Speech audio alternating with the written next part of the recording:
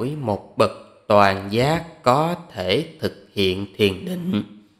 Hai hay nhiều đề mục cùng một lúc thuộc song thông à, Yamaka Patithariya có thể để thu phục ngoại đạo.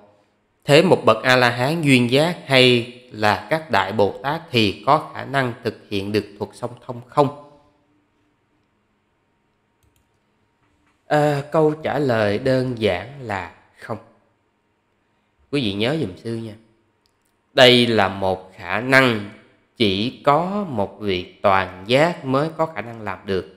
Chính bởi vì như vậy những cái tác phẩm văn học những cái tác phẩm sau này được người ta chế ra mình sẽ rất dễ nhận biết một trong những cái để mình dễ nhận biết nhất là đây không phải là chánh tạng. Tức là họ à, nói là các vị đại bồ tát thì à, đều có thể thực hiện cái à, song thông lực. Thì khi mình nghe như vậy là mình biết ngay cái này là không có thật được sáng tác. Bởi vì um,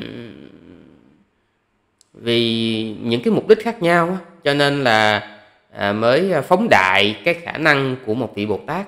À, nhưng mà thực tế thì cái khả năng lực này là năng lực chỉ có một vị chánh đẳng giác mới có. Ừ.